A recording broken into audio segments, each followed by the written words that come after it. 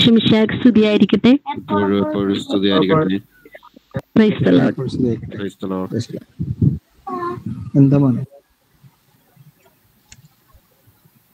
നമുക്ക് വചനത്തിലേക്ക് കടക്കാം. സീറ്റ. Praise the Lord praise the Lord praise the Lord എല്ലാവരും ഒരു നന്മ നിറഞ്ഞ മറിയമ്മയെ ചൊല്ലിക്കൊണ്ട് എനിക്ക് വേണ്ടി പ്രാർത്ഥിക്കാമോ? നന്മ നിറഞ്ഞ മറിയമേ സ്വസ്തി കർത്താവ് അങ്ങയോട് കൂടി സ്ത്രീകളിൽ അങ്ങ് അനുഗ്രഹിക്കപ്പെട്ടവളാകുന്നു അങ്ങയുടെ ഫലമായി അനുഗ്രഹിക്കപ്പെട്ടവനാകുന്നു ഞങ്ങളുടെ മരണസമയത്ത് തമരാനോട് അപേക്ഷിച്ചോളണമേ അമ്മേ മരണസമയത്തും തമ്പുരാനോട് അപേക്ഷിച്ചോളണമേ ആമേ പ്രൈസ് ദ ലോഡ് ഞാൻ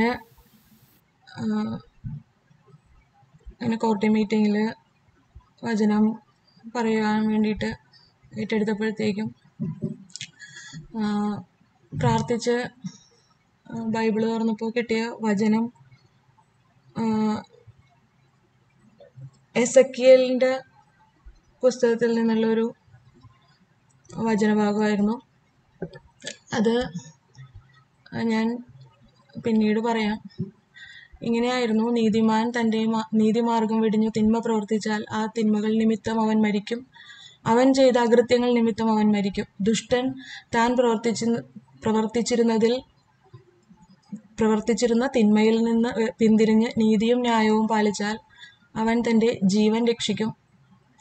താൻ പ്രവർത്തിച്ചിരുന്ന തിന്മകൾ മനസ്സിലാക്കി അവയിൽ നിന്നും പിന്മാറിയതിനാൽ അവൻ തീർച്ചയായും ജീവിക്കും. അവൻ മരിക്കുകയില്ല. ഇങ്ങനൊരു വചനമാണ് എനിക്ക് കിട്ടിയത്. നീതിമാൻ തിന്മ എന്തെങ്കിലും പ്രവർത്തിക്കുവാണെങ്കിൽ അവൻ ചെയ്ത നീതി പ്രവർത്തികൾ വഴിയല്ല. ആ തിന്മ അവൻ ചെയ്ത അകൃത്യം വഴി അവൻ മരിക്കുമെന്നും ദുഷ്ടൻ എല്ലാ ദുഷ്ടതയും പ്രവർത്തിച്ചിട്ടും അവൻ തിന്മയിൽ നിന്ന് പിന്തിരിച്ച് പിന്തിരിഞ്ഞ് നീതിയും പാലിച്ചാൽ അവൻ ചെയ്ത തിന്മകൾ മറന്നുകൊണ്ട് ദൈവം അവൻ ചെയ്ത നീതിയെ പ്രതി അവനെ ജീവിപ്പിക്കും എന്നുമാണ് കിട്ടിയത്. എനിക്കപ്പോൾ അതൊരു വലിയ സങ്കടമായിട്ട് തോന്നി. അപ്പോൾ എന്നിട്ട് ഞാൻ വിചാരിച്ചു അത് എസക്കിയലിന്റെ പുസ്തകമല്ലേ? പഴയ നിയമമല്ലേ? പുതിയ നിയമത്തിൽ എന്തെങ്കിലും നോക്കാം എന്ന് കരുതി. അങ്ങനെ പുതിയ നിയമം എടുത്തപ്പോഴും കിട്ടിയത് ഒരു നമുക്കൊക്കെ സങ്കടപ്പെടുത്തുന്ന ഒരു വചനമാണ്. അപ്പോൾ ഞാൻ അവരോട് പറയും ഞാൻ നിങ്ങളെ ഒരിക്കലും അറിഞ്ഞിട്ടില്ല. അപ്പം ഇതിനെപ്പറ്റി പറയാൻ വേണ്ടിയിട്ട് ആലോചിക്കുമ്പം എനിക്ക് എന്ത് പറയണമെന്നറിയില്ല. ഞാനപ്പം ദൈവത്തോട് തന്നെ പറയാണ് ഈശോയെ ഞാൻ ഒരു വചനത്തിന്റെ അർത്ഥം അന്വേഷിച്ച് നടന്ന കുറേ വചനങ്ങളുണ്ട്. അങ്ങനെ അർത്ഥം അന്വേഷിച്ച് നടന്ന വചനങ്ങളിൽ ഒരു വചനമാണ് ഒരു വേർഡ് ഓഫ് ഗോഡിനെ ഞാൻ എന്നോട് പറഞ്ഞപ്പോൾ ആദ്യമായിട്ടും ഇതുവരെയും ചെയ്തിട്ടുള്ള ആകെ ഒരെണ്ണമുള്ളൂ അതിൽ പറഞ്ഞ ആത്മാവിൽ ദരിദ്രർ ഭാഗ്യവാന്മാർ എന്നുള്ള വചനം. അതുപോലെ അർത്ഥം അന്വേഷിച്ച് നടന്ന ഒരു വചനമാണ് മത്തായിയുടെ സുവിശേഷത്തിൽ താലന്തുകളുടെ ഉപമയിൽ പറയുന്ന ഇരുപത്തഞ്ചാം അധ്യായം ഇരുപത്തൊമ്പതാം വാക്യം. ഉള്ളവന് നൽകപ്പെടും അവന് സമൃദ്ധി ഉണ്ടാവുകയും ചെയ്യും. ഇല്ലാത്തവനിൽ നിന്ന് ഉള്ളതുപോലും എടുക്കപ്പെടും എന്നുള്ള വചനം. ഈ വചനത്തെ പറ്റി ആദ്യം കുഞ്ഞുനാളിൽ മൊത്തം എനിക്ക് വിഷമമായിരുന്നു. ഇതെന്തൊരു വചനം? ആ ഒരു നാണയം മാത്രം ഒരു താലന്ത് മാത്രം കൊടുത്തിട്ട് അവനോട് എന്തിനാണ് യജമാനൻ കോപിച്ചത്? മറ്റുള്ളവർക്കൊക്കെ കൂടുതൽ കൊടുത്തില്ലേ? അവൻ അതുകൊണ്ടേ കളഞ്ഞില്ലല്ലോ.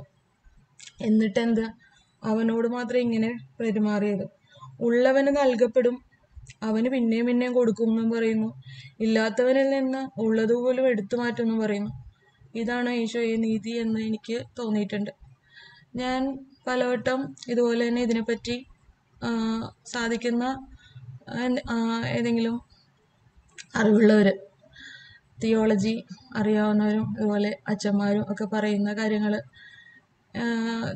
സെർച്ച് ചെയ്ത് കണ്ടുപിടിച്ച് അല്ലെങ്കിൽ കേൾക്കുമ്പോഴൊക്കെ അതിനെപ്പറ്റി പിന്നീടാണ് കുറച്ച് വലുതായ പിന്നെ അല്ലെങ്കിൽ കല്യാണം കഴിഞ്ഞിട്ട് ശേഷമാണ് ഇതിന്റെയൊക്കെ അർത്ഥം കുറേശ്ശായിട്ട് മനസ്സിലാകാൻ തുടങ്ങിയത്. അപ്പോൾ നമ്മുടെ ബോബി അച്ഛന്റെ ഗുരുചരണത്തിൽ പറഞ്ഞിട്ടുള്ള ഒരു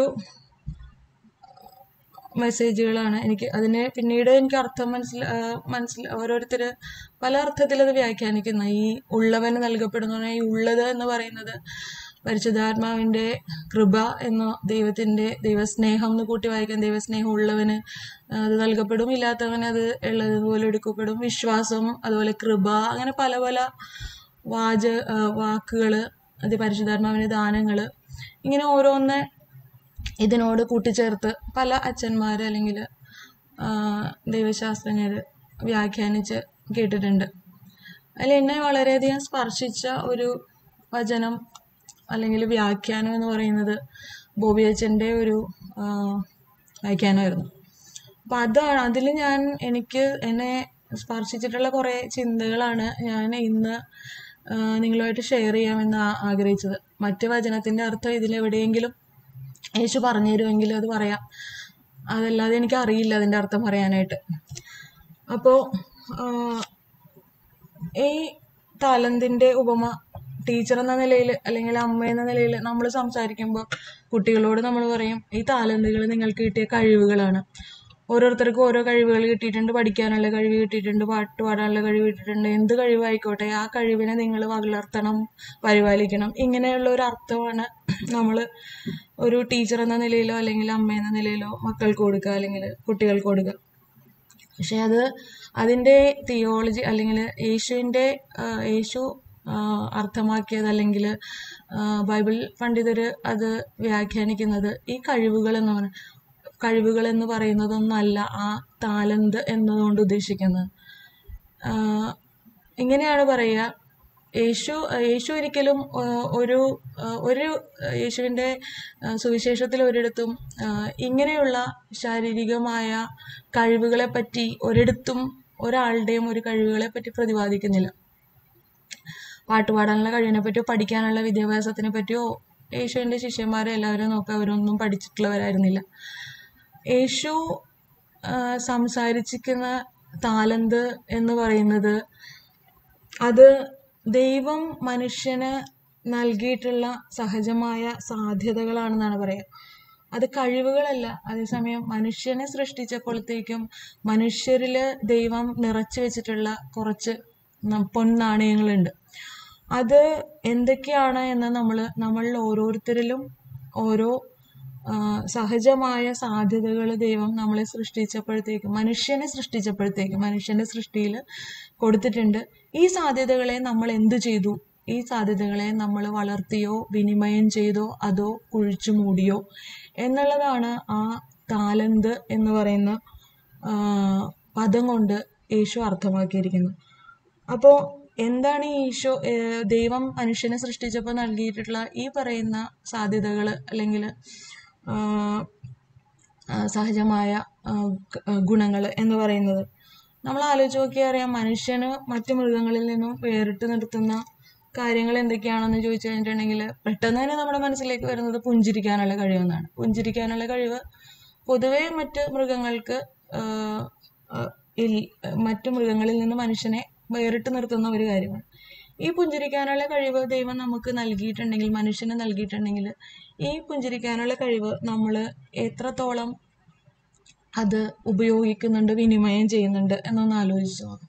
കുഞ്ഞുങ്ങളെ പറ്റി കുഞ്ഞുങ്ങളെ പോലെ ചിരി പുഞ്ചിരിക്കാനായിട്ട് പൂക്കളെ നോക്കി പുഞ്ചിരിക്കാനായിട്ട് കിളികളെ നോക്കി പുഞ്ചിരിക്കാനായിട്ട് അല്ലെങ്കിൽ പ്രകൃതിയിലെ മറ്റ് അല്ലെങ്കിൽ ഒരു അപരിചിതമായ ഒരു അപരിചിതനെ നോക്കി വഴിപോക്കനെ നോക്കി. നമ്മൾ പുഞ്ചിരി എന്ന് പറയുമ്പോൾ നമുക്ക് ഏറ്റവും വേണ്ടപ്പെട്ടവരെ നമുക്ക് ഏറ്റവും ഇഷ്ടപ്പെട്ടവരെ കാണുമ്പോൾ മാത്രം ഏറ്റവും അടുപ്പമുള്ളവരെ കാണുമ്പോൾ മാത്രം ഉള്ള ഒരു കാര്യമായി ഒതുങ്ങി പോകുന്നുണ്ടോ?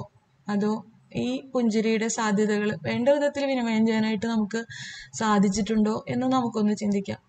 മനുഷ്യനെ പറ്റി വേറെ ഓരോരുത്തർക്കും മനസ്സിൽ ഓരോന്ന് വരുന്നുണ്ടാവും. മനുഷ്യനെ പറ്റി ദൈവം എന്തൊക്കെയാണ് മനുഷ്യന് തന്നിട്ടുണ്ടാവുക. ഏറ്റവും പ്രധാനമായിട്ട് അടിസ്ഥാനമായിട്ടുള്ള ഈ സാധ്യത എന്ന് പറയുന്നത് സ്നേഹം തന്നെയാണ്. കാരണം വേറൊന്നുമല്ല സ്നേഹം ദൈവം തന്റെ ഛായയിലും സാദൃശ്യത്തിലും മനുഷ്യനെ സൃഷ്ടിച്ചു എന്നാണ് ബൈബിൾ പറയുന്നത്. അങ്ങനെയാണെങ്കിൽ പിന്നീട് ദൈവം വചനം തന്നെ നമ്മളോട് പറയുന്നു ദൈവം സ്നേഹമാണെന്ന്. അങ്ങനെയാണെങ്കിൽ ദൈവത്തിന്റെ ഛായയിൽ സൃഷ്ടിക്കപ്പെട്ട മനുഷ്യൻ ഈ സ്നേഹത്തിന്റെ സാദൃശ്യത്തിൽ തന്നെയാണ് സൃഷ്ടിക്കപ്പെട്ടിരിക്കുന്നത്. അപ്പോൾ നമ്മളെല്ലാവരും അടിസ്ഥാനപരമായി ദൈവം നിഷ്ഠേ നിക്ഷേപിച്ചിരിക്കുന്ന ഒരു താലന്താണ്? സ്നേഹിക്കാനുള്ള സ്നേഹം എന്നുള്ള ഒരു സാധ്യത. ഈ സ്നേഹിക്കാനുള്ള കഴിവ് ഇത് നമ്മൾ വേണ്ട വിധത്തിൽ ഇതിനെ വളർത്തുന്നുണ്ടോ വിനിമയം ചെയ്യുന്നുണ്ടോ എന്നുള്ള ഒരു ചോദ്യം നമുക്ക് സ്വയം ഒന്ന് ചോദിക്കാം. അതുപോലെ തന്നെ ഇപ്പം സ്നേഹിക്കണ കാര്യം പറയുമ്പോഴത്തേക്കും നമ്മൾ വിചാരിക്കും മൃഗങ്ങളെ സ്നേഹിക്കുന്നുണ്ട്. മൃഗങ്ങളെ മൃഗങ്ങളെ ഇപ്പം എന്താണ് ഭക്ഷണം കൊടുക്കുവാണെങ്കിൽ നമ്മൾ അറിയാലോ നമ്മൾ സ്ഥിരം ഒരു മൃഗത്തിന് നമ്മൾ ഭക്ഷണം കൊടുത്തുകൊണ്ടിരുന്നിട്ടുണ്ടെങ്കിൽ അവൻ നമ്മളോട് സ്നേഹം കാണിക്കും. അല്ലെങ്കിൽ അവന്റെ ഒരു ആപത്തിൽ അവനെ സഹായിച്ചു അല്ലെങ്കിൽ എന്തെങ്കിലും പരിക്കേറ്റപ്പോൾ നമ്മൾ ശുശ്രൂഷിച്ചു ആ മൃഗവും ആ ചെയ്ത ആളെ തിരിച്ച് സ്നേഹിക്കും. മിക്ക പല മൃഗങ്ങളും അങ്ങനെ ചെയ്യും. പിന്നെ മനുഷ്യൻ എന്താണ് വ്യത്യാസം എന്ന് ചോദിച്ചിട്ടുണ്ടെങ്കിൽ മനുഷ്യൻ ഇങ്ങനെ പ്രതിഫലം ഒന്നും ആഗ്രഹിക്കാതെ അല്ലെങ്കിൽ ഇങ്ങോട്ട് കിട്ടുന്നത് എന്തെന്ന് നോക്കാതെ സ്നേഹിക്കാനായിട്ട് ഉള്ള ഒരു കഴിവ് മനുഷ്യന് ദൈവം നൽകിയിട്ടുണ്ട്. നമ്മൾക്ക് ഈ ലാഭത്തെക്കുറിച്ച് ചിന്തിക്കാതെ സ്നേഹിക്കാനായിട്ട് നമുക്ക് എന്ത് കിട്ടുമെന്ന് ആലോചിക്കാതെ സ്നേഹിക്കാനായിട്ടുള്ള ഒരു കഴിവ് മനുഷ്യന് നൽകിയിട്ടുണ്ട്. മൃഗത്തിന് കൊടുക്കാത്ത ഒരു കഴിവാണ്. അപ്പം അങ്ങനെ ഒരു സാധ്യത നമുക്ക് തന്നിട്ടുണ്ടെങ്കിൽ ആ സാധ്യത നമ്മൾ എന്തോരം ഉപയോഗിക്കുന്നുണ്ട് അല്ലെങ്കിൽ വിനിമയം ചെയ്യുന്നുണ്ട് എന്ന് നമുക്കൊന്ന് ചിന്തിച്ച് നോക്കാൻ പറ്റും. ചിലപ്പോൾ വേറെ നമുക്ക് ആലോചിക്കുമ്പോൾ ഒന്നും ഒന്നും ചെയ്യാൻ പറ്റുന്നില്ല. ഒരു എക്സ് ഒരു എക്സാമ്പിൾ പറയുകയാണെങ്കിൽ ചിലപ്പോൾ ഒരു ഒരു ഒരു ആളുടെ അടുത്ത് ഒരു അച്ഛന്റെ അടുത്ത് ഒരു കുട്ടി വന്നിട്ട് അല്ലെങ്കിൽ ഒരു ഒരു മനുഷ്യൻ വന്നിട്ട് ഒരുപാട് സങ്കടങ്ങൾ പറയാണ്. സങ്കടങ്ങളും പ്രശ്നങ്ങളും എല്ലാം പറഞ്ഞു കഴിഞ്ഞപ്പോഴത്തേക്കും ഈ അച്ഛന് അച്ഛൻ അവനോട് പറയാണ് എനിക്ക് എന്ത് പറയണമെന്നറിയില്ല നിന്നോട്. നിന്നെ സമാധാനിപ്പിക്കേണ്ട എങ്ങനെയാണെന്ന് എനിക്കറിയില്ല. എന്ത് ചെയ്തണമെന്ന് പറഞ്ഞു തരാനും എനിക്കറിയില്ലല്ലോടാ എന്ന് പറയണേ. അപ്പം അവൻ പറയാണ് അച്ഛോ അച്ഛൻ എന്നെ ഇത്രയും നേരം കേട്ടിരുന്നില്ലേ? അപ്പോൾ തന്നെ എനിക്ക് എന്തോ ഭയങ്കര ആശ്വാസം. അപ്പോൾ ഇങ്ങനെ കേട്ടിരിക്കാനായിട്ടും അതും ഒരു സാധ്യതയല്ലേ? അപ്പോൾ ഇതുപോലെ ഒരുപാട് സാധ്യതകൾ നമുക്ക് ദൈവം തന്നിട്ടുണ്ട്. ക്ഷമിക്കാനുള്ള കഴിവ് സഹിക്കാനുള്ള കഴിവ് എന്തും ആ യേശുവിലേക്ക് നോക്കാൻ യേശുവിൽ യേശു സഹിക്കാത്ത ഒന്നുമില്ല ഒരു മനുഷ്യന്റെ ജീവിതത്തിൽ ഉണ്ടാവാവുന്ന എല്ലാ വേദനകളും എല്ലാ വിഷമങ്ങളും ഒറ്റപ്പെടലുകളും കുറ്റപ്പെടുത്തലുകളും തെറ്റിദ്ധരിക്കപ്പെടലും എല്ലാം അനുഭവിച്ചിട്ടുള്ള എല്ലാ സങ്കടങ്ങളും അനുഭവിച്ചിട്ടുള്ള എല്ലാ സങ്ക മനുഷ്യന്റെ എല്ലാ സങ്കടങ്ങളുടെയും ആകെത്തുകയാണ് അല്ലെങ്കിൽ കൂട്ടി വിളക്കി ഉണ്ടാക്കിയതാണ് പുരുഷെന്ന് പറയും. അപ്പോൾ ഇതിലേക്ക് നോക്കി ക്ഷമിക്കാനും സഹിക്കാനും ഒക്കെയുള്ള കഴിവ് ദൈവം തന്നിട്ടില്ലേ?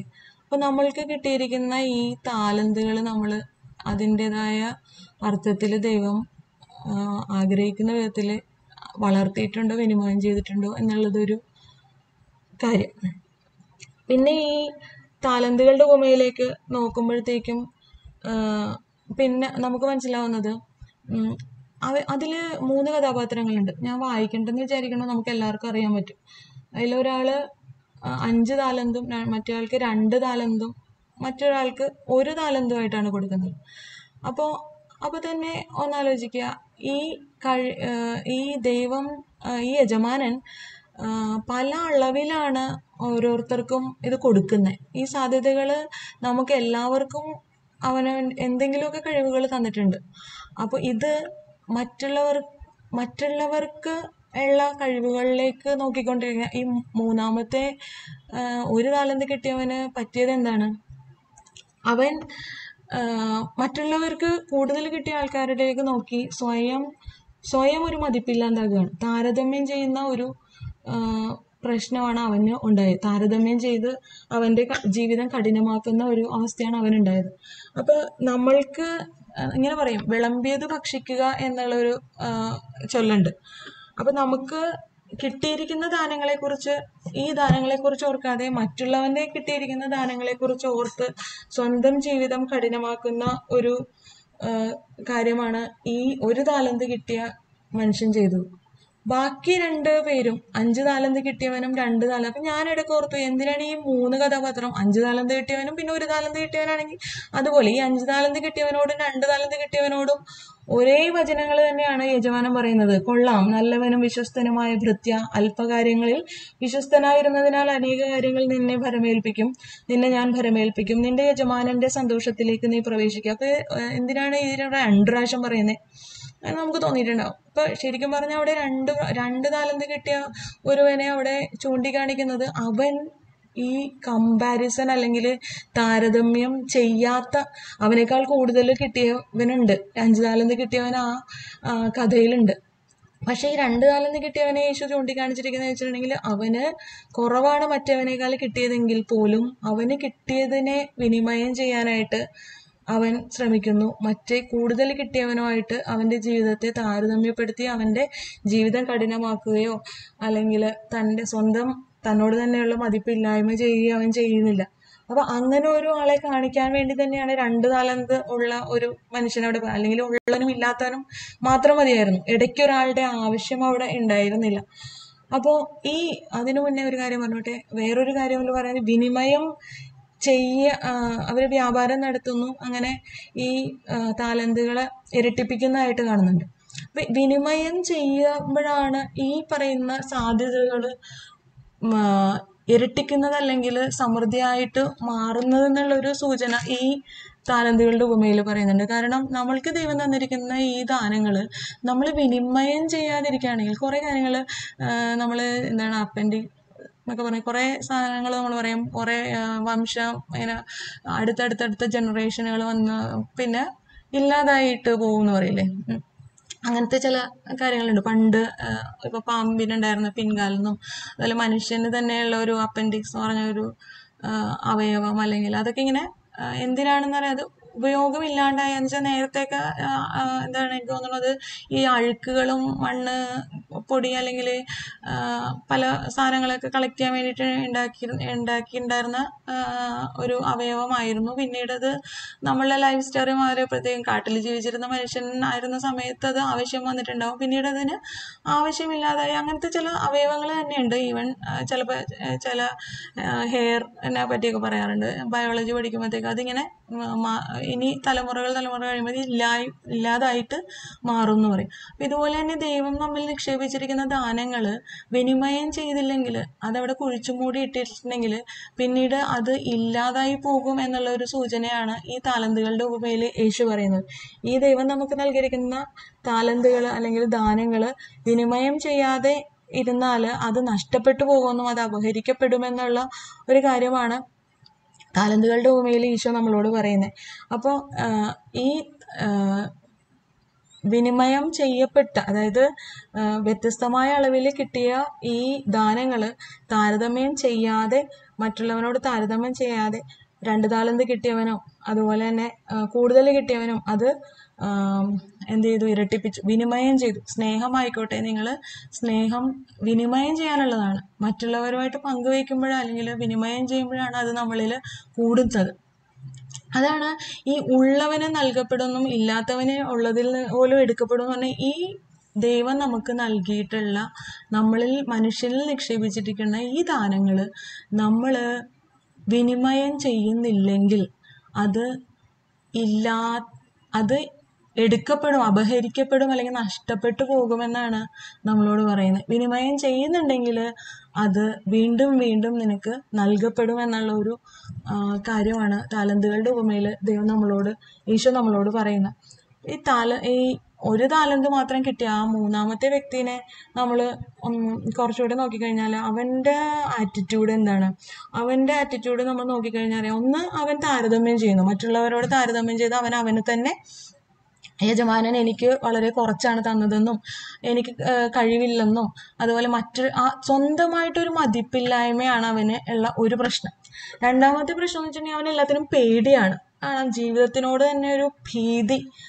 അപ്പോൾ അത് അത് ആ വചനം വായിക്കുമ്പോഴത്തേക്കും നമുക്ക് അറിയാൻ പറ്റും അവന് പേടിയായിരുന്നു. യജമാനന് അവന് ഭയമായിരുന്നു. ഈ ഭയം എന്ന് പറയുന്നത് എന്താണ്? എപ്പോഴും പറയുന്നുണ്ട് സ്നേഹത്തിൽ നമ്മളോട് ദൈവവചനം പറയുന്നു സ്നേഹത്തിൽ ഭയത്തിനിടമില്ല. ഭയം സ്നേഹ ഭയമുള്ളവൻ സ്നേഹത്തിൽ പൂർണനല്ല എന്ന് തിരുവചനം നമ്മളോട് പറയുന്നുണ്ട്. അപ്പൊ ദൈവസ്നേഹത്തിൽ ദൈവത്തിന്റെ കാരുണ്യത്തിൽ നമുക്ക് വിശ്വാസം നഷ്ടപ്പെടുന്നതാണ് പാപം എന്ന് പറയാം. ദൈവം കരുണാമയനാണെന്നും നമ്മൾ നമ്മൾ നമ്മൾ എന്തെങ്കിലും നമ്മളുടെ കയ്യിൽ നിന്നൊരു തെറ്റ് വന്നു പോയാലും പശ്ചാത്തപിച്ച് തിരിച്ചു ചെന്നാൽ കൈനീട്ടി സ്വീകരിക്കുന്ന പിതാവായ ദൈവത്തിനെ പറ്റിയുള്ള പിതാവായ ദൈവത്തിന്റെ സ്നേഹത്തിനെ കാരുണ്യത്തെ പറ്റിയുള്ള അറിവില്ലായ്മയോ അല്ലെങ്കിൽ വിശ്വാസമില്ലായ്മയോ അങ്ങനെ ഒരു കാരുണ്യത്തെ പറ്റി വിശ്വാസമില്ലായ്മ തന്നെയാണ് എല്ലാ പാപത്തിന്റെയും ഉറവിടമെന്നോ അല്ലെങ്കിൽ പാപമെന്ന് തന്നെ പറയാവുന്നത് ഈ സ്നേഹത്തിൽ വിശ്വാസമില്ലായ്മയെന്ന് എനിക്ക് തോന്നുന്നു. അപ്പോൾ അതാണ് അവന്റെ ആറ്റിറ്റ്യൂഡ് ഇനി ഇവന് എന്ത് സംഭവിച്ചു എന്ന് നോക്കിയാൽ ഈ ഈ മൂന്നാമത്തെ വ്യക്തി ഒരു താലന്ത് കിട്ടിയവന് എന്ത് സംഭവിച്ചു എന്ന് നോക്കിയിട്ടുണ്ടെങ്കിൽ നമുക്ക് കാണാം. അവന് എന്താണ് പറയുന്നത്? അവന് എങ്ങനെയാണ് പറയുന്നത് അതിൽ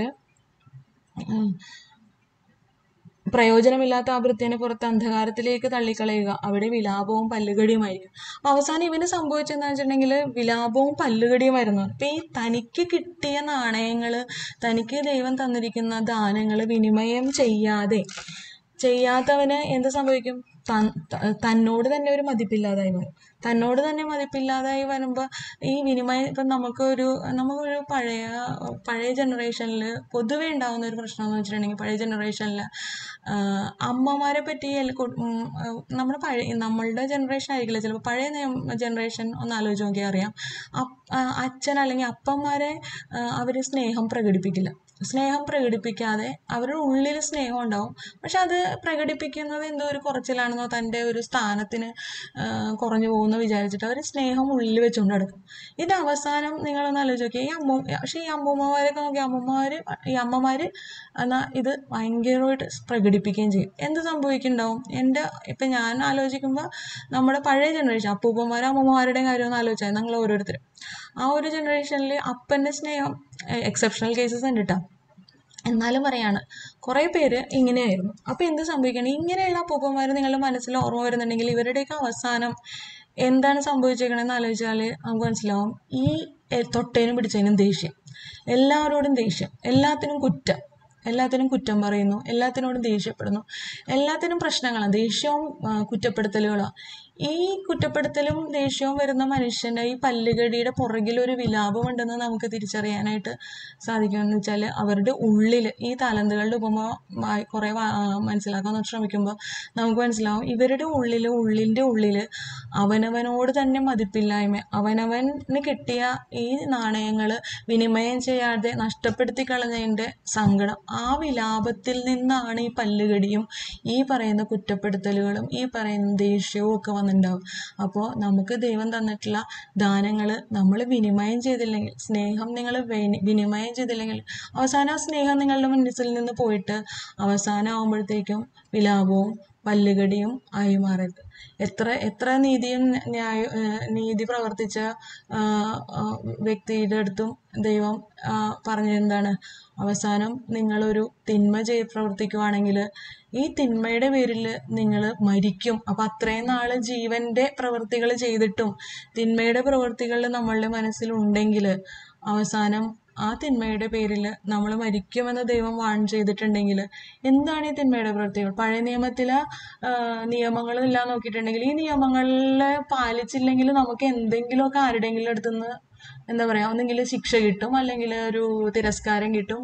എല്ലാ ഇപ്പൊ പത്ത് കൽപ്പനകൾ തന്നെ എടുത്തു നോക്കിയാൽ പത്ത് കൽപ്പനകൾ പത്ത് കൽപ്പനകളിൽ പാലിക്കാതെ ഇരിക്കുവാണെങ്കിൽ വേണമെങ്കിൽ ആദ്യത്തെ ഒന്ന് രണ്ട് മൂന്ന് കൽപ്പനകൾ എന്ന് പറഞ്ഞിട്ടുണ്ടെങ്കിൽ വേണമെങ്കിൽ നമ്മുടെ സഭയിൽ നിന്ന് പള്ളിയിലച്ഛനിൽ നിന്ന് അല്ലെങ്കിൽ ഇടവകയിൽ നിന്ന് നമ്മുടെ ക്രിസ്ത്യൻ സമൂഹത്തിൽ നിന്ന് ഒരു ഇഷ്ടകേടോ എന്തെങ്കിലും ഒരു ഒരു കാര്യം ഒരു തള്ളിക്കളകലോ ഉണ്ടാവാം. ബാക്കിയുള്ള പുറകിലോട്ടുള്ള കാര്യങ്ങൾക്കൊക്കെ നിയമങ്ങൾക്കൊക്കെ വേണമെങ്കിൽ നിയമത്തിന് തന്നെ നമ്മൾ ശിക്ഷിക്കാം. പക്ഷെ പുതിയ നിയമത്തിൽ യേശുവിന്റെ സുവിശേഷത്തിൽ പറയുന്ന നിയമങ്ങളൊന്ന് ആലോചിച്ച് നോക്കിക്കേ. യേശു പറഞ്ഞിരിക്കുന്ന നമ്മൾക്ക് നൽകിയ നിയമങ്ങൾ പാലിച്ചില്ലെങ്കിലും ആരും നമ്മൾക്ക് നിയമപരമായിട്ട് നമുക്കൊരു ശിക്ഷയും കിട്ടില്ല. ആരിൽ നിന്നും നമുക്കൊരു ശിക്ഷയും കിട്ടില്ല. പക്ഷേ യേശു ആഗ്രഹിക്കുന്ന ദൈവത്തിന്റെ ഹിതം യേശു പറഞ്ഞു വെച്ചിട്ടുണ്ട്.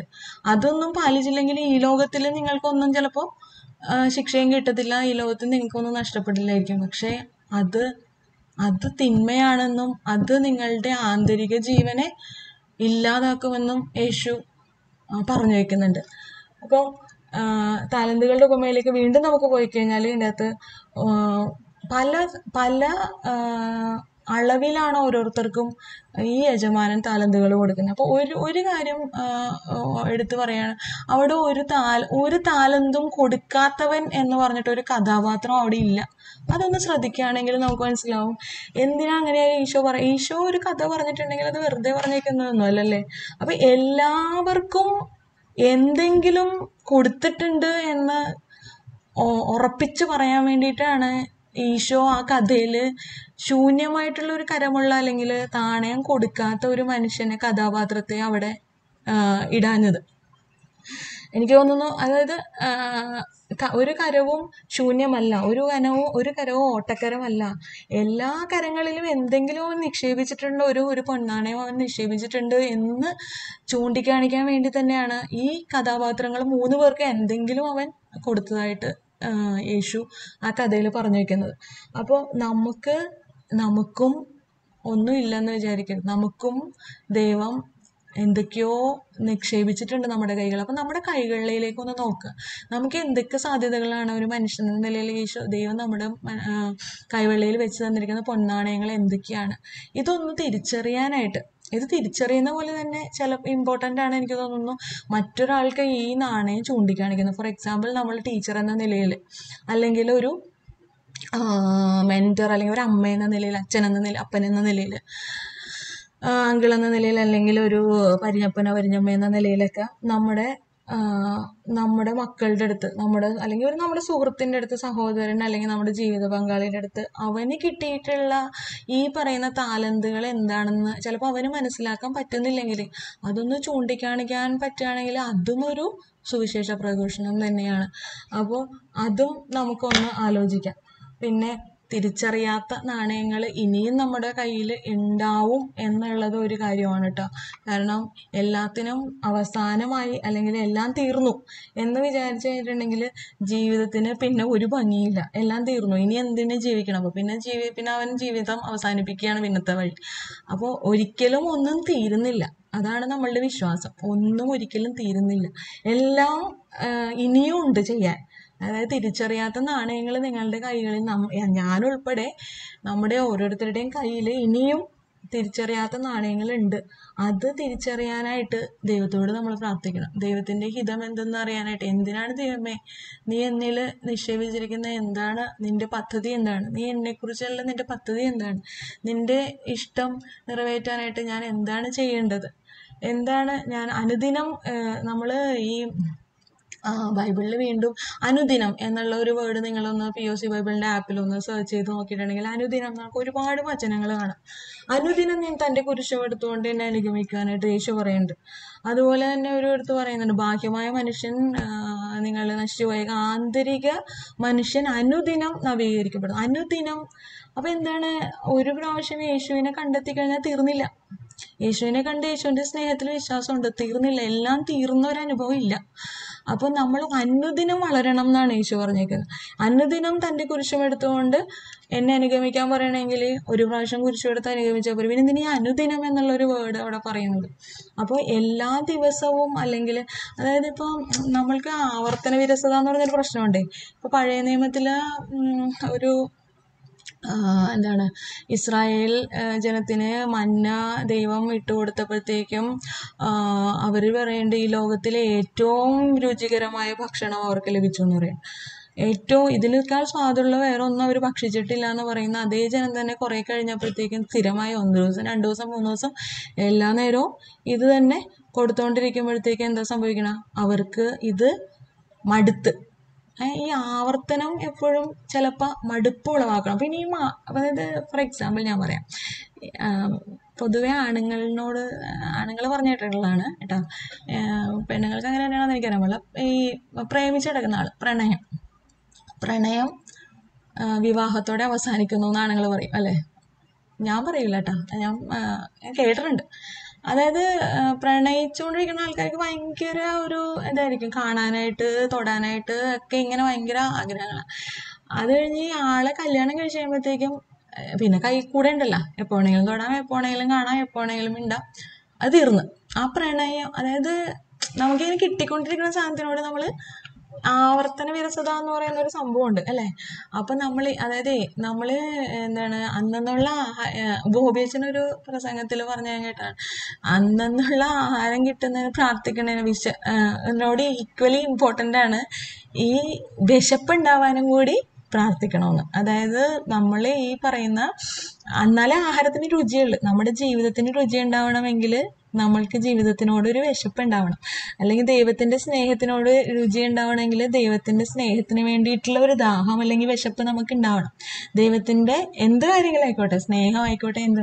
അതിന് രുചികരമാവണമെങ്കിൽ അതിനോടൊരു വിശപ്പ് അല്ലെങ്കിൽ ആഗ്രഹം അല്ലെങ്കിൽ ദാഹം നമുക്ക് ഉണ്ടാവണം. അപ്പം അനുദിനം ഒരു കല്യാണ കല്യാണത്തിന്റെ ഇതിനെ ഒരു കല്യാണ കുർബാനയ്ക്ക് ഒരു അച്ഛൻ എന്റെ ഒരു കസിന്റെ കല്യാണത്തിനായിരുന്നു. അപ്പം ഞാനിങ്ങനെ ഭയങ്കരമായിട്ട് ശ്രദ്ധിച്ച ഒരു വചനമാണ് ഐ മീൻസ് പ്രസവചനമല്ല പ്രസംഗത്തിൽ പറഞ്ഞാണ്. നിങ്ങൾ ഒരു ചെടി നട്ട് ചെടി നട്ട് കല്യാണത്തിനെ പറ്റി അച്ഛൻ പറയാണ്. ഇത് നിങ്ങൾ വിചാരിക്കും ഇത് തന്നെ അങ്ങ് വളർന്നു നോക്കിക്കോളും വളർന്നോളും. ഓരോ വർഷം കഴി ഓരോ ദിവസം കഴിയുന്തോറും എന്ത് കൂടുന്നുണ്ട്?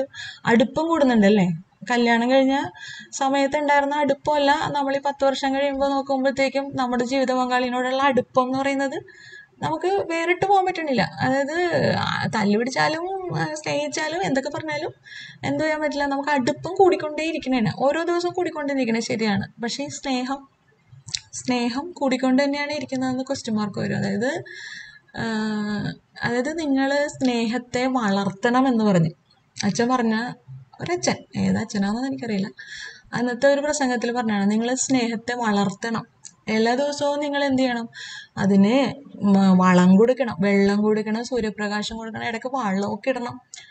ഇങ്ങനെ വേണം വളർത്താൻ എന്ന് പറഞ്ഞു. അപ്പൊ ഇതെങ്ങനെയാണ് ഇത്? അപ്പൊ എനിക്കത് ഭയങ്കര ടച്ച് ചെയ്ത്. ഞാനിത് എത്ര വർഷമായിട്ടുണ്ടാവും ഇത് കേട്ടിട്ട്?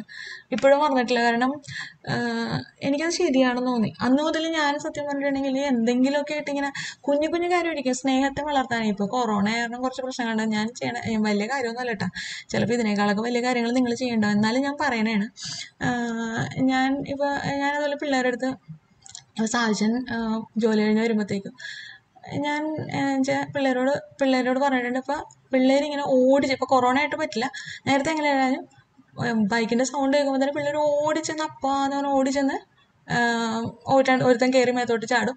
അന്നയാണെങ്കിലും വന്ന് കെട്ടിപ്പിടിച്ച് അപ്പോൾ ഇങ്ങനെ ഒന്ന് കെട്ടിപ്പിടിച്ച് അല്ലെങ്കിൽ നമ്മൾ ആ കയറി വരുമ്പോഴത്തേക്കും ഞാൻ എനിക്കെന്ത് പരാതി ഉണ്ടെങ്കിലും ചിലപ്പോൾ ടയേർഡായിരിക്കും അല്ലെങ്കിൽ ചിലപ്പോൾ എന്തെങ്കിലുമൊക്കെ വിഷമമൊക്കെ ഉണ്ടാവും എന്തെങ്കിലും ആയിക്കോട്ടെ. സാഹചര്യം കയറി വരുന്ന സമയത്ത് നമ്മൾ ഒരു ചിരിച്ചോണ്ടിരിക്കും. അപ്പം ഞാനിങ്ങനെ ചിരി അപ്പം ഞാനിങ്ങനെ ചിരിച്ചോണ്ട് നിൽക്കണ ചിരിച്ചോണ്ട് നിൽക്കും ആ സമയത്ത് ചിരിച്ച് അല്ലെങ്കിൽ ഒന്ന് ഇപ്പം അപ്പച്ചനും അമ്മച്ചും കാണാതെ ഒരു ഉമ്മയൊക്കെ കൊടുക്കും. അല്ലെങ്കിൽ അങ്ങനെയൊക്കെ എന്ന് വെച്ചാൽ നമ്മൾ ഇപ്പോഴല്ല കേട്ടോ കൊറോണ കാരണം ഇപ്പോൾ ഭയങ്കര പ്രശ്നമാണ്. ഇതൊന്നും ചെയ്യാൻ തൊടാൻ പറ്റണില്ല ഉപയോഗിക്കാൻ പറ്റണില്ല.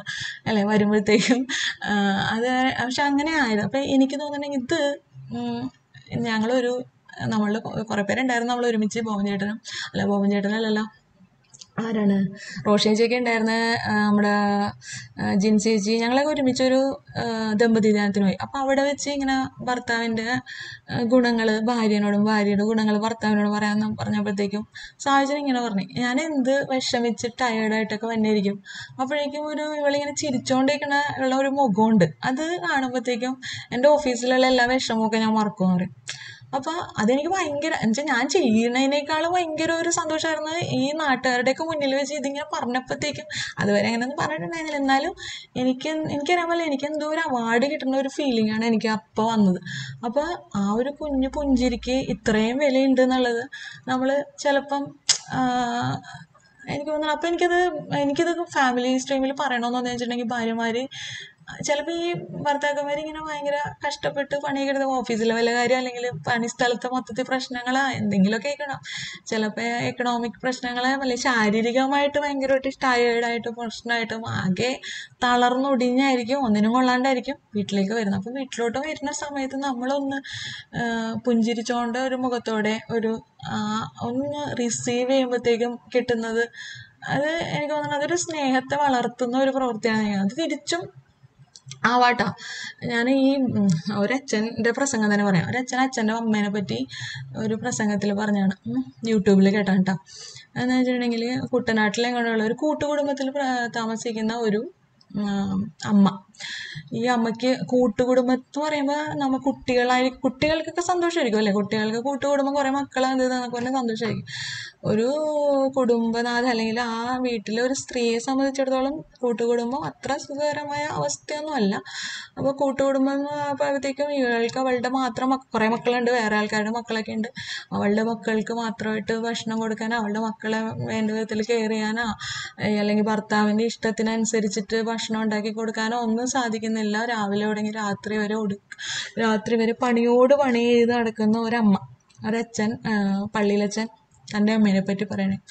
ഈ അമ്മ ഈ അമ്മയ്ക്ക് രാത്രി അമ്മയും അപ്പനും അതായത് അമ്മയും ഈ സ്ത്രീയും അവരുടെ ഭർത്താവും കൂടെ ആയിരിക്കുന്ന സമയത്ത് ഭർത്താവ് പറയും. ഇവളോട് പറയുന്നതാണ് എനിക്കെല്ലാം മനസ്സിലാവുന്നുണ്ട് കേട്ടോ റോസി നിന്റെ കഷ്ടപ്പാടൊക്കെ എനിക്ക് മനസ്സിലാവുന്നുണ്ട് കേട്ടോ റോസി. ഈ ഒരു വചനം ഈ ഒരു വാക്ക് ആ അവളുടെ കഷ്ടപ്പാടുകളെയോ പണികളെയോ വിഷമങ്ങളെയോ അല്ലെങ്കിൽ ആ ബുദ്ധിമുട്ടുകളെ കുറക്കുന്നില്ല. പക്ഷേ അവളുടെ മനസ്സിന് കൊടുക്കുന്ന ഒരു ആശ്വാസവും സ്നേഹവും എന്ന് പറയുന്നത് ഭയങ്കര വലുതാണ്. ആ ഒരു വാക്കിന്റെ പുറത്താണ് അവൾ ജീ അച്ഛൻ പറയേണ്ട അച്ഛന്റെ അമ്മ ജീ അത്രയും ജീവിച്ചത് ഈ ഒരു സ്നേഹത്തിന്റെ പുറത്ത് ജീവിച്ചു അപ്പം ഇങ്ങനെ നമ്മൾക്ക് തിരിച്ചും ആവാം എങ്ങനെ വേണമെങ്കിലും ആവാം. ഞാനിപ്പം പറയുമ്പം അതായത് നമ്മൾ ഉദ്ദേശിക്കുന്നത് വെച്ചാൽ പെണ്ണുങ്ങളെ സംബന്ധിച്ച് ഇപ്പം ഈ അമ്മയുടെ ആ ഒരു വാക്കിൽ ആ അമ്മയുടെ മനസ്സ് എനിക്ക് ശരിക്കും മനസ്സിലാവും. ഞാനത് കേട്ട് കഴിഞ്ഞപ്പോൾ എന്റെ കണ്ണിൽ നിന്ന് ഒഴുകാൻ. കാരണം എന്ന് വെച്ചാൽ ഈ വീട്ടിലെ കഷ്ടപ്പാട് മുഴുവൻ ഇത് പറയുമ്പോൾ ഇത് ഒരു പരാതി പറയുന്ന ഭാഗത്തോടെ ചിലപ്പോൾ ഒന്നും വേണ്ട പോട്ടെ പോട്ടെ സാരമില്ല എന്നൊരു വാക്ക് മതിയായിരിക്കും. അല്ലെങ്കിൽ നീ കഷ്ടപ്പെടുന്നുണ്ടല്ലേ എനിക്ക് മനസ്സിലാവുന്നുണ്ട്. ചില സമയത്ത് സാഹചര്യം ഇങ്ങനെ പറയാറുണ്ടായിരുന്നു കേട്ടോ അപ്പം ഞാനിടയ്ക്ക് ഇങ്ങനെ എനിക്കങ്ങനെ വലിയ കഷ്ടപ്പാടൊന്നും ഇല്ല കേട്ടോ എന്നാലും ഞാൻ പറയണതാണ് ഇടയ്ക്ക് ചില സമയത്ത് ഞാൻ ഇങ്ങനെ എഴുതി സാഹചര്യം ഓർമ്മയാണ് സാഹചര്യം എന്റെ അകത്ത് ഞാൻ നോക്കണില്ല. എനിക്ക് എഴുതി കൊടുത്തിട്ടുണ്ട്. അപ്പോൾ വെച്ചാൽ ചില സമയത്ത് എനിക്ക് അങ്ങനെ തോന്നിയിട്ടുണ്ട്. ഇപ്പം ഈ കുറേ വർഷങ്ങൾക്ക് ശേഷമാണ് ആദ്യം കല്യാണം കഴിഞ്ഞ വർഷങ്ങളിലല്ല. പിന്നീട് എനിക്ക് തോന്നിയിട്ടുണ്ട് എന്നെ ഞാൻ ഏതോ ഒരു വെഡിങ് ആനിവേഴ്സറിക്ക് സാഹചര്യം ഇങ്ങനെ ഇടയ്ക്ക് ഞാൻ ഞാനിങ്ങനെ വെഡിങ് ആനിവേഴ്സറിക്ക് അല്ലെങ്കിൽ ബർത്ത്ഡേക്കൊക്കെ ഒരു കത്തെഴുതി കൊടുക്കുന്ന ഒരു പരിപാടിയുണ്ട്. കുറച്ച് നാളുകളായിട്ട് തുടങ്ങിയതായിരുന്നു. അപ്പോൾ സാഹചര്യം ഞാൻ ഇങ്ങനെ കത്തെഴുതി കൊടുക്കും. എനിക്ക് ലവ് ലെറ്റർ എഴുതി പരിചയം ഉണ്ടായിട്ടൊന്നുമല്ല കേട്ടോ എനിക്ക് എഴുതാൻ വേണ്ടി എഴുതണേ. കല്യാണം കഴിഞ്ഞിട്ടാണ് ആദ്യം ആദ്യമായിട്ട് എഴുതിക്കണം അതിന് മുന്നേ ലവ് ലെറ്റർ ഒന്നും എഴുതിയിട്ടില്ല. എനിക്ക് കിട്ടിയിട്ടുമില്ല. സാഹചര്യം എഴുതി കൊടുക്കാനുണ്ട്. അപ്പോൾ ഞാനിങ്ങനെ എഴുതുമ്പോൾ പ്രാവശ്യം ഞാൻ എഴുതി. എനിക്ക് ആദ്യമൊന്നും അങ്ങനെയല്ല. ഈ ഒരു എനിക്ക് തോന്നുന്നു ഒമ്പത് വർഷമോ ഏഴ് വർഷത്തിന് ശേഷമാണ് എഴുതി ഞാൻ പറഞ്ഞു എന്റെ എന്നെ പ്രസവിച്ച അമ്മേനേക്കാളും അല്ലെങ്കിൽ എന്നെ വളർത്തിയ അപ്പനേക്കാളും ഞാൻ പ്രസവിച്ച മക്കളെക്കാളും എന്നെ മനസ്സിലാക്കുന്നുണ്ട് എന്ന്. എന്ന് വെച്ചാൽ അങ്ങനെ ഒരു മനസ്സിലാക്കാൻ ഒരാളുണ്ടായാലും മതി. ഞാൻ പറഞ്ഞു പറഞ്ഞ് വഴി തെറ്റിപ്പോയി തോന്നണേ. നമുക്ക് തിരിച്ചു വരാം. ഞാൻ പറഞ്ഞത് സ്നേഹത്തെ വളർത്തണം എന്ന് മാത്രമേ ഉള്ളൂ. അപ്പോൾ ഈ ഇനി ഈ സമയമായി എന്ന് തോന്നണം അല്ലേ? ആ, ഈ താലന്തുകളുടെ ഉപമയിലേക്ക് തിരിച്ചു പോയി കഴിഞ്ഞാൽ അയ്യോ. ഒരു അഞ്ച് മിനിറ്റും കൂടെ കിട്ടോ? സമയമായോ എല്ലാരും ഉറങ്ങിപ്പോയാ ഈശ്വര.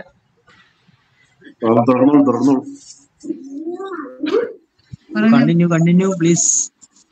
Okay sorry വൈകിപ്പോയി. ഞാൻ വേഗം നിർത്താട്ടോ. അപ്പം കാട് കയറിപ്പോയതാ. സോറി അപ്പം നമ്മൾ ഇതിലേക്ക് നോക്കുമ്പോഴത്തേക്കും ഇനി നമുക്ക് എന്തായാലും കുറേ പോസിറ്റീവ് കാര്യങ്ങൾ പറഞ്ഞു നിർത്താം. അതായത് നമ്മൾ ഈ ഇതിലേക്ക് നമ്മൾ ഈ നല്ല അതായത് താലന്തുകൾ കിട്ടിയ വളർത്തിയ വിനിമയം ചെയ്ത ആൾക്കാരിലേക്ക് നോക്കുമ്പോഴത്തേക്കും ഇവർ എന്റെ അടുത്ത് യജമാനം പറയുന്ന വാചകമുണ്ട്. രണ്ട് പ്രാവശ്യം റിപ്പീറ്റ് ചെയ്ത് അഞ്ച് താലന്ത് കിട്ടിയവന്റെ അടുത്തും രണ്ട് താലന്ത് കിട്ടിയവന്റെ അടുത്തും യജമാനം പറയുന്നൊരു വചനമുണ്ട്. കൊള്ളാം. നല്ലവനും വിശ്വസ്തനുമായ വൃത്തി അല്പകാര്യങ്ങളിൽ വിശ്വസ്തനായിരുന്നതിനാൽ അനേക കാര്യങ്ങൾ ഞാൻ നിന്നെ ഭരമേൽപ്പിക്കും. നിന്റെ യജമാനന്റെ സന്തോഷത്തിലേക്ക് നീ പ്രവേശിക്കുക. നിന്റെ യജമാനന്റെ സന്തോഷത്തിലേക്ക് നീ പ്രവേശിക്കുക എന്ന് രണ്ട് പ്രാവശ്യം പറയുന്നത് ഇപ്പം ഇത് ഫിലിപ്പി നാല് നാല്. എന്താണ്? നിങ്ങൾ കർത്താവിൽ സന്തോഷിക്കുവിൻ കർത്താവിൽ ആനന്ദിക്കുവിൻ. ഞാൻ വീണ്ടും പറയുന്നു നിങ്ങൾ സന്തോഷിക്കുവിൻ. ഇത് ഞാൻ എനിക്ക് റിജോയ്സ് ഇൻ ലോഡ് അല്ലേ? ഇത് ഞാൻ ഈ വചനം പറയുമ്പോൾ എനിക്ക് മനസ്സിൽ വരുന്നത് എന്താണെന്ന് വെച്ചിട്ടുണ്ടെങ്കിൽ ഈ അടുത്ത് എന്റെ അനുകുട്ടിയുടെ ക്ലാസ്സിൽ ഒരു കുട്ടിയുടെ അമ്മ മരിച്ചു. രണ്ട് ആൺമക്കളായിരുന്നു. അനുകുട്ടിയുടെ ക്ലാസ്സിൽ സ്റ്റീവ് എന്ന് പറഞ്ഞ ഒരു കൊച്ച് അതിന്റെ ഇളയത് ഒരു പ്രീ കെ ജി പഠിക്കുന്ന ഒരു ആൺകുട്ടി ആ, പെണ്ണ് പെൺകുട്ടി നമ്മുടെ പ്രായമാണ്. അഞ്ചു മാസം പ്രഗ്നന്റ് ആയിരുന്നു. ബസ് ഇടിച്ചിട്ട് മരിച്ചു. ഈ അവർ വേറൊരു കാസ്റ്റാണ് നമ്മളുടെ ഇതാണ്. ബന്ധക്കോസ്റ്റ് അങ്ങനെ എന്തോ ഒരു വേറൊരു ഇതാണ്. അവർ ലൈവായിട്ട് അവരുടെ ഈ മരണാനന്തര ചടങ്ങുകൾ ലൈവായിട്ട് യൂട്യൂബിൽ കാണിക്കണ്ടായിരുന്നു. യൂട്യൂബ് ലൈവിലുണ്ടായിരുന്നു അപ്പൊ ഈ ഭർത്താവ് ഇങ്ങനെ ഓർമ്മകൾ പങ്കുവെക്കാണ്. ആ ഭർത്താവ് ഇവ ഈ ഷെൽമീനെ പറ്റിയിട്ടുള്ള ഓർമ്മകൾ പങ്കുവെക്കാം. എന്നിട്ട് ഇതെല്ലാം പറഞ്ഞിട്ട് എനിക്ക് ഇനി എന്ത് ചെയ്യണം? എനിക്ക് മുൻ മുഴുവൻ ശൂന്യതയാണ്. എനിക്കറിയില്ല ഇനി എന്ത് ചെയ്യണം? എന്നിൽ എന്നിൽ എന്നാൽ പോലും അല്ലെങ്കിൽ എന്റെ ജീവിതത്തിൽ കർത്താവെ നീ എനിക്ക് എന്തിനാണ് ഈ ജീവിതത്തിൽ തന്നേക്കുന്നതെന്ന് എന്നിട്ട് അയാൾ പറയുന്നുണ്ട് എനിക്ക് ഒരു എനിക്കൊരു പാഠമായിരിക്കും. ഞാൻ ഇനിയും സമയമുണ്ട് ഇനിയും സമയമുണ്ട് എന്ന് ഇനിയും കർത്താവിന് രണ്ടാം കർത്താവിന്റെ വരവിന് ഇനിയും സമയമുണ്ടെന്ന് വിചാരിച്ചിരിക്കുന്ന എനിക്ക് ഞാൻ വരാൻ സമയമുണ്ടോ എന്നുള്ളതിനല്ല നിനക്ക് ഇനി എത്ര സമയം ഈ ഭൂമിയിൽ ഉണ്ടാവും എന്നുള്ളതിനാണ് നീ ആലോചിക്കേണ്ടത് എന്നുള്ള ഒരു താക്കീതാണ് എനിക്ക് ഈ ഒരു അനുഭവം എനിക്ക് തന്നതെന്ന് അവൻ ആ ആൾ ആ ഭർത്താവ് പറയാണ്. എന്നിട്ട് കർത്താവ് പറയാണ്, എനിക്ക് എനിക്കിതൊന്നും അക്സെപ്റ്റ് ചെയ്യാൻ പറ്റുന്നില്ല. എന്നാൽ പോലും കർത്താവെ ഞാൻ എന്താണ് റിജോയ്സ് ഇൻ ലോഡ് എന്ന് പറയാൻ ഞാൻ കർത്താവെ നിന്നിൽ ആനന്ദിക്കുന്നു അപ്പൊ അങ്ങനെ പറയാനായിട്ട് വരെ എനിക്ക് എനിക്കത് കേട്ടിട്ട് എനിക്ക് ഇത് എന്തൊരു വിശ്വാസം. ഇങ്ങനൊരു വിശ്വാസം ഉണ്ടാവോ? ഇത് അപ്പം നമ്മൾ നമ്മളോട് തന്നെ അല്ലെങ്കിൽ നമ്മളോട് തന്നെ ചോദിക്കുക കർത്ത എല്ലായിടത്തും പോയപ്പോൾ നമ്മൾ എല്ലാവരോടും സുഖമാണോ എന്ന് ചോദിക്കും അല്ലേ?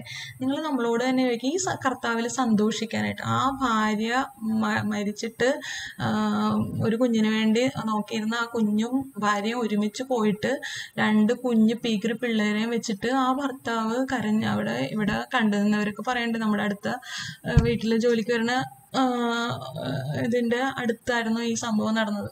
അപ്പൊ അവർ പറയണ്ട ഒരു മണിക്കൂറോളം ആ ഡെഡ് ബോഡി മടിയിൽ കിടത്തിക്കൊണ്ട് അവിടെ വാവിട്ട് കരയണായിരുന്നു ഈ മനുഷ്യൻ എന്ന് പറയുന്നുണ്ട് എന്നിട്ട് ആ മനുഷ്യൻ വൈകുന്നേരം ഈ ചടങ്ങിന് മരണാനന്തര ശുശ്രൂഷകളുടെ ഇടയ്ക്ക് ഇങ്ങനെ പറയാൻ പറ്റുന്നുണ്ടെങ്കിൽ നമുക്ക് നമുക്ക് നമുക്ക് സന്തോഷമാണ്. നമ്മൾ ദൈവത്തിൽ ആനന്ദിക്കുന്നുണ്ട്. ഈ സന്തോഷത്തിലേക്കാണ് നമ്മൾ ദൈവം വിളിച്ചിട്ടുള്ളത്. ഈ സന്തോഷം നമുക്കുണ്ടോ. നമുക്ക് സ്വയം ചോദിക്കണം. നമ്മളോട് നമ്മളോട് ചേർന്നിരിക്കുന്നവരോടും ചോദിക്കണം. എനിക്ക് തോന്നുന്നു എനിക്ക് ഈ ഒരു വചനം കിട്ടിയപ്പം എന്താണ്? കർത്താവേ കർത്താവേ ഞങ്ങൾ നിന്റെ നാമത്തിൽ പ്രവചിക്കുകയും ഇതാണ് എനിക്ക് പുതിയ നിയമത്തിൽ നമ്മൾ ഈ വചനം പങ്കുവയ്ക്കാൻ വേണ്ടി ആലോചിച്ചിട്ട് എടുത്തപ്പോൾ കിട്ടിയ വചനം. കർത്താവേ കർത്താവേ നിങ്ങൾ ഞങ്ങൾ നിന്റെ നാമത്തിൽ പ്രവചിക്കുകയും നിന്റെ നാമത്തിൽ പിശാചുകളെ പുറത്താക്കുകയും നിന്റെ നാമത്തിൽ നിരവധി അത്ഭുതങ്ങൾ പ്രവർത്തിക്കുകയും ചെയ്തില്ലേ? ഇത് പറഞ്ഞപ്പോ കർത്താവ് പറയണ ഞാൻ അപ്പോൾ അവരോട് പറയും നിങ്ങളെ ഞാൻ ഒരിക്കലും അറിഞ്ഞിട്ടില്ല. ഭയങ്കര ഭയങ്കര വിഷമം ഉണ്ടാക്കുന്ന ഒരു വചനമാണ്. മറ്റേതും അങ്ങനെ തന്നെയായിരുന്നു. നീതിമാ നീതിമാനോട് രണ്ട് വചനം കിട്ടിയത് രണ്ടും ഇങ്ങനെ. അപ്പൊ നമ്മളോട് ജീസസ് യൂത്തായ അല്ലെങ്കിൽ എന്നെയും നിങ്ങളെയും ചൂണ്ടി ദൈവം പറയണേണ്. ഞാൻ അപ്പൊ ഇത് തുടങ്ങുന്നത് എന്തെന്നാണ്? നോക്കിയാൽ അറിയുള്ളൂ. കർത്താവേ കർത്താവേ എന്ന് എന്നോട് വിളിച്ചപേക്ഷിക്കുന്നവനല്ല. സ്വർഗസ്ഥനായ എന്റെ സ്വർഗസ്ഥനായ പിതാവിന്റെ ഇഷ്ടം നിറവേറ്റുന്നവനാണ് സ്വർഗരാജ്യത്തിൽ പ്രവേശിക്കുക. അന്ന് പലരും എന്നോട് ചോദിക്കും കർത്താവേ കർത്താവേ ഞങ്ങൾ നിന്റെ നാമത്തിൽ പ്രവചിക്കുകയും നിന്റെ നാമത്തിൽ പിശാചുകളെ പുറത്താക്കുകയും നിന്റെ നാമത്തിൽ നിരവധി അത്ഭുതങ്ങൾ പ്രവർത്തിക്കുകയും ചെയ്തില്ലേ? അപ്പോൾ ഞാൻ അവരോട് പറയും നിങ്ങളെ ഞാൻ ഒരിക്കലും അറിഞ്ഞിട്ടില്ല. അനീതി പ്രവർത്തിക്കുന്നവരെ നിങ്ങൾ എന്നിൽ നിന്ന് അകന്നുപോയി. മത്താവിടെ സുവിശേഷം ഏഴാം അധ്യായം ഇരുപത്തൊന്നാം മുതൽ ഇരുപത്തി മൂന്ന് വരെയുള്ള വാക്യങ്ങൾ. നമ്മൾ സ്വന്തമായിട്ട് ഒന്ന് ആലോചിക്കണം. കർത്താവെ കർത്താവേ എന്ന് വിളിച്ചപേക്ഷിക്കുന്നതല്ല. എന്റെ സ്വർഗസ്ഥനായ പിതാവിന്റെ ഇഷ്ടം ഞാൻ നിറവേറ്റുന്നുണ്ടോ. എന്നെ അറിഞ്ഞിട്ടില്ല എന്ന് പറഞ്ഞിട്ടുണ്ടെങ്കിൽ അവസാനം നമ്മൾ അവനെ കണ്ടുമുട്ടുമ്പോൾ ഞാൻ നിന്നെ അറിഞ്ഞിട്ടില്ല എന്ന് പറഞ്ഞിട്ടില്ലെങ്കിൽ അവന്റെ ഭാഷയല്ല നമ്മൾ സംസാരിച്ചില്ല അല്ലെങ്കിൽ അവന്റെ ഭാഷ നമ്മൾ അറിഞ്ഞിട്ടില്ല എന്നർത്ഥം അപ്പം അവന്റെ ഭാഷ എന്താണെന്ന് അറിയാൻ സുവിശേഷം എന്തെന്ന് അറിയാൻ അവൻ ആഗ്രഹിക്കുന്നത് അവന്റെ എന്റെ പിതാവിന്റെ ഇഷ്ടം നിറവേറ്റുന്നതിനുള്ളവർ മനസ്സ് ഇഷ്ടം നിറവേറ്റുന്നവരാവാനായിട്ട് നമ്മൾ എന്നും പ്രാർത്ഥിക്കണം അനുദിനം പ്രാർത്ഥിക്കണം. യേശുവിന്റെ ഇഷ്ടം ദൈവത്തിന്റെ ഇഷ്ടം എന്തെന്ന് തിരിച്ചറിയാം ദൈവത്തിന്റെ ഇഷ്ടം അനുസരിക്കുന്നവരായി നമ്മളിൽ ആ സന്തോഷത്തിലേക്കാണ് ദൈവം വിളിച്ചിട്ടുള്ളത്. നമ്മളോടും നമ്മളോട് ചോദിക്കണം നീ കർത്താവിൽ ആനന്ദിക്കുന്നുണ്ടോ? നിനക്ക് സന്തോഷമുണ്ടോ? നീ അസ്വസ്ഥനായി അലഞ്ഞു തിരികെയാണോ അതോ നീ കർത്താവിൽ ആനന്ദിക്കുകയാണോ? എന്ത് സഹനവും എന്ത് പ്രതിസന്ധി ഉണ്ടായിക്കോട്ടെ? നീ ആ കുരിശിലേക്ക് നോക്കി അവനിലേക്ക് നോക്കി നീ സന്തോഷിക്കുന്നുണ്ടോ? ആ കുരിശിലേക്ക് എല്ലാം ചേർത്ത്. അതല്ലെങ്കിൽ നിങ്ങളുടെ ജീവിത പങ്കാളിയോട് ചോദിക്കണം നിന്റെ മക്കളോട് ചോദിക്കണം. അവർ സന്തോഷിക്കുന്നുണ്ടോ? നിങ്ങൾ പ്രകാ നമ്മൾ പ്രകാശം പരത്തുന്നവരാണെങ്കിൽ ഞാൻ ഉൾപ്പെടെ നമ്മൾ പ്രകാശത്തിന്റെ മക്കളാണ്. നമ്മൾ പ്രകാശത്തിന്റെ മക്കളാണെങ്കിൽ പ്രകാശത്തിന്റെ പ്രവൃത്തികൾ ചെയ്യണം. അല്ലെങ്കിൽ നമ്മൾ പ്രകാശം പരത്തണം. നിങ്ങളുടെ ജീവിത പങ്കാളിക്ക് സന്തോഷമുണ്ടോ? ജീവിത പങ്കാളിക്ക് സന്തോഷം കൊടുക്കാൻ അല്ലെങ്കിൽ മക്കൾ നമ്മളായിരിക്കുന്ന ഇടങ്ങളിൽ നമ്മളോട് ചേർന്നിരിക്കുന്നവർ അത് എനിക്ക് തോന്നുന്നു ജീസസ് ദൈവത്തിനോട് പറയാനായിട്ടായിട്ട് എന്നോട് നമ്മളെല്ലാവരോടുമായിട്ട് ദൈവം പറയാം ഒരു വട്ടായിലച്ചൻ ഒരു പ്രാവശ്യം ഒരു ഒരു ഒരു അഭിഷേകജ്ഞാണെന്ന് ഓർക്കണല്ലോ. വട്ടായിലച്ചന്റെ ഒരു പ്രസംഗത്തിൽ ഞാൻ കേട്ടാണ് നീ ഞാനും എന്റെ ദൈവമേ എന്നുള്ള ഒരു ആറ്റിറ്റ്യൂഡാണോ നിനക്കുള്ളത്? ഞാനും എന്റെ ദൈവവും എന്നുള്ള ആറ്റിറ്റ്യൂഡാണെങ്കിൽ കർത്താവ് നമ്മളെ പഠിപ്പിക്കില്ല. സ്വർഗസ്ഥനായ ഞങ്ങളുടെ പിതാവേ എന്ന് സ്വർഗസ്ഥനായ ഞങ്ങളുടെ പിതാവേ എന്നാണ് എന്റെ പിതാവേ എന്നല്ല. ഞങ്ങളുടെ എന്നുള്ള വേർഡ് ആ സ്വർഗസ്ഥനായ പിതാവേയിൽ പല പ്രാവശ്യം റിപ്പീറ്റ് ചെയ്ത് റിപ്പീറ്റ് ചെയ്ത് വരുന്നുണ്ട്. ഞാനെന്നോ എന്റെ എന്നോ ഒരു വാക്ക് പറയണില്ല. അപ്പോൾ അതും ഒരു തെറ്റാണ് അഹങ്കാരമാണ്. ഞാനും എന്റെ ദൈവവും എന്ന് മാത്രമാണ്. വെട്ടാലിച്ചൻ പറഞ്ഞ കാര്യം ഇതാണ്. നീ എല്ലാം ചെയ്ത എല്ലാ നന്മകളും പ്രവർത്തിച്ച് അവിടെ ചെല്ലുമ്പോൾ വാതിൽ തുറന്നു വരുമ്പോഴത്തേക്കും കർത്താവ് ചോദിക്കും നീ എന്താണ് ഒറ്റയ്ക്ക് വന്നേക്കണം? ഒറ്റയ്ക്ക് ആരെയും ഇവിടെ കേട്ടില്ല? എന്ന് പറയുന്നു. അതായത് നമ്മൾ ഒറ്റയ്ക്കല്ല സ്വർഗത്തിലേക്ക് പോകാൻ പോണേ. നമ്മൾ പോകണമെങ്കിൽ കൂട്ടമായിട്ടാണ് പോകാൻ പോണേ. ഒരു ലോറി ഒരു ഒരു ട്രെയിൻ നിറയെ ആളുകളുമായിട്ടാണ് അച്ഛൻ പറഞ്ഞിങ്ങനെയാണ് ടൈലിന് പറഞ്ഞിങ്ങനെ ഒരു നിങ്ങൾ ഒറ്റയ്ക്കല്ല ഒരു ട്രെയിൻ നിറയെ ആളുകളുമായിട്ടേ നിങ്ങൾ അവിടെ കേട്ടുള്ളൂ അതായത് നമ്മളും ഞാനും നിന്റെ ദൈവം എന്നല്ല ഞങ്ങളുടെ ദൈവം. ഞങ്ങളുടെ ദൈവം എന്നുള്ള നിങ്ങളുടെ നമ്മുടെ മാതാപിതാക്കളായിക്കോട്ടെ നമ്മുടെ ജീവിത പങ്കാളിയായിക്കോട്ടെ നമ്മുടെ മക്കളായിക്കോട്ടെ എല്ലാവരും കൂടി ഒരുമിച്ചാണ് നമ്മൾ പോകുള്ളൂ അപ്പം നമുക്ക് എല്ലാവർക്കും സന്തോഷം കൊടുക്കുക എല്ലാവർക്കും പ്രകാശം കൊടുക്കുന്നവരൊക്കെ. അവർ സന്തോഷമാണോ എന്ന് അവരോട് അവരോട് ചോദിച്ചു നോക്കിടക്ക് അവർക്ക് സന്തോഷമാണെങ്കിൽ നമ്മൾ സന്തോഷം കൊടുക്കുന്നവരാണെന്ന് നമുക്കറിയാം നമുക്ക് നമ്മൾ പ്രകാശം പരത്തുന്നവരായിട്ട് സന്തോഷം കൊടുക്കുന്നവരായിട്ട് ദൈവത്തിൽ ആനന്ദിക്കുന്നവരായിട്ട് മാറാനായിട്ട് ദൈവത്തിന്റെ ഇഷ്ടം നിറവേറ്റുന്നവരാകാൻ വേണ്ടി പ്രാർത്ഥിച്ചുകൊണ്ട് നിർത്തുന്നു ഈശോയെ നന്ദി പ്രൈസ്തലോട്ട്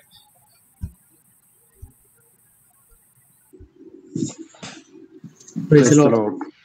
Praise the Lord.